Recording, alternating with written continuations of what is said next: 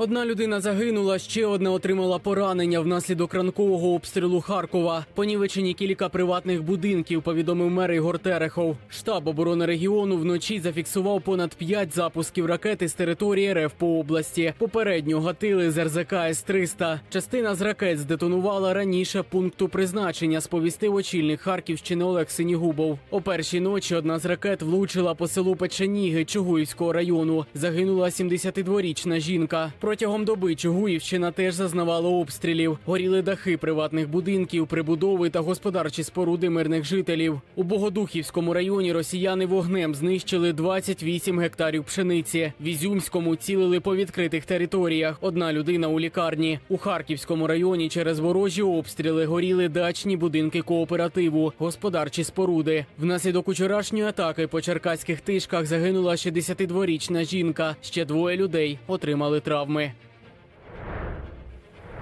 Наступ росіян у бік Авдіївки і Пісків провалився. На Харківщині гаряче повідомляє генштаб. Окупанти не змогли просунутися на Донеччині, а також невдало штурмували Бахмут. На харківському напрямку росіяни намагаються стримати захисників України від просування вглиб захопленої території. На Донецькому напрямку ворог застосуванням наявних засобів вогневого ураження по лінії зіткнення намагається завдати максимальних втрат нашим підрозділам та не допустити їх перекидання на інші напрямки. На Бахмутському напрямку ворог здійснював обстріли наших військ поблизу Бахмута, Зайцевого, Яковлівки, Краснополівки, Покровського і Вершини. Завдав авіаційних ударів в районах Бахмута, Солидара і Кодеми. Росіяни зранку обстріляли околиці Миколаєва. Попередньо без жертв та постраждалих. Детальна інформація щодо наслідків обстрілів уточнюється. Повідомив голова ОВА Віталій Кім. За його словами, також були прильоти у Баштанському районі. Під постійним вогнем окупантів залишаються населені пункти Широківської та Березнегувацької громади на лінії розмежування. На світанку російські загарбники пошкодили об'єкт цивільної інфраструктури. Крім того, очільник області підсумував результати подовженої комендантської години у місті. За його словами, правоохоронці відкрили близько 20 кримінальних проваджень та затримали п'ятьох осіб. У них, зокрема, знайшли обладнання, яке реєструвало фейкові облікові записи, так звані ботоферми. Разобрались еще с одной группой, которая теперь не будет нам ничего мешать наводить. Никто никого не расстрелял, русскоязычные не расстреляны, м, не заминировано ничего. Никто не нападал ни на Баштанку, ни на Николаев продвижение. То есть все это, как в начале войны, начинаются раскачивать э, русские для того, чтобы прикрывать какие-то свои действия. Все нормально, работаем дальше, будь добру. Готували замах на міністра оборони та очільника головного управління розвідки. Українські правоохоронці завадили російським спецслужбам вбити Олексія Резнікова, Кирила Буданова та екс-командира розвідроти полку Азов. За даними спецслужби, за вбивство кожного з них російські куратори обіцяли винагороду у розмірі від сотні до 150 тисяч доларів. США. організувати замах мав завербований житель Луганщини, який з 2014-го брав участь у бойових діях на боці країни агресорки у лавах так званої народної міліції ЛНР. За виконавця той узяв киянина, який мав спершу стежити за чиновниками, а згодом обох розстріляти. Вбивство керівника бойового підрозділу мало стати тестовим завданням перед виконанням інших замовних вбивств українців. Повідомляють у службі безпеки. На первую задачу я привлек человека, который проживает на территории Украины. Для этой задачи э, он проводил наблюдение, фотофиксацию, потом приобрел пистолет ПМ и исполнил заказ. За этот заказ он получил 5000 долларов. Російські окупанти заявляють про замінування Запорізької атомної електростанції та погрожують підірвати об'єкт. Повідомили в енергоатомі. Прес-служба підприємства послалася на заяву начальника військ радіаційного, хімічного та біологічного захисту Росії Валерія Васильєва. Той днями заявив, що станція буде або російською землею, або випаленою пустелею. За словами окупантів, у рашистів нібито немає іншого шляху, окрім як підірвати станцію. Раніше представник головного управління розвідки Міноборони Андрій Юсов попереджав, що росіяни замінували енергоблоки Запорізької АЕС. У розвідці такі дії назвали ядерним шантажем. Додам, що ЗАЕС АЕС продовжують обстрілювати. Є поранені працівники.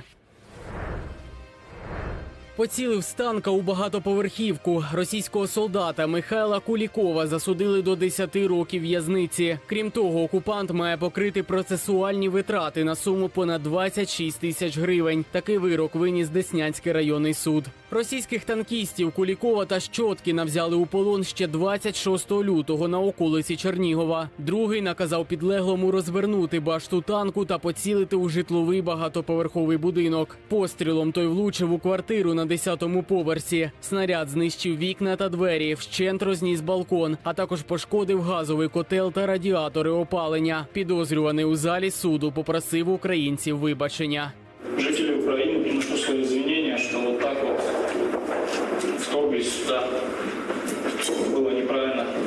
coração, né? Псевдореферендум на Запоріжжі росіяни завезли до міста близько 700 людей масовки, адже не змогли назбирати людей серед місцевого населення, аби оформити картинку для розмі. Повідомляє мер Мелітополя Іван Федоров. За його словами, колаборант Євген Балицький, який оголосив про проведення так званого референдуму, раніше набрав менше 10% на виборах. На думку Федорова, окупанти усвідомлюють, що їхні плани щодо псевдоволевиявлення не будуть втілені. У цьому впевнені й в оперативному командуванні Південь набрати той електорат, який зміг би їм допомогти імітувати той самий псевдореферендум. Росіяни не можуть. Інформує начальниця об'єднаного координаційного прес-центру Наталія Гуменюк. Водночас, за її словами, окупанти використовують різні методи впливу на людей і залякуванням і простою силою намагаються відбирати особисті дані, аби сформувати фальшиві списки для так званого волевиявлення.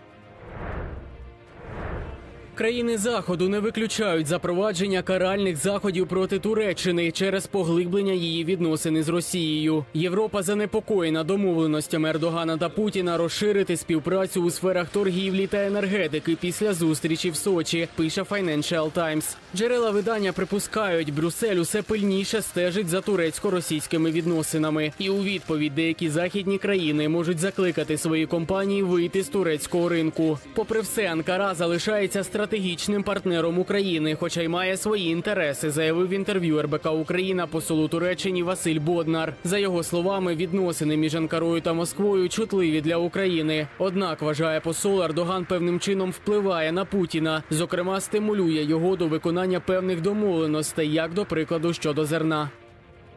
Туреччина з самого початку війни, мабуть, одна з небагатьох, хто докладає максимальних зусиль, щоб допомагати Україні та певним чином підштовхувати Росію до укладання миру.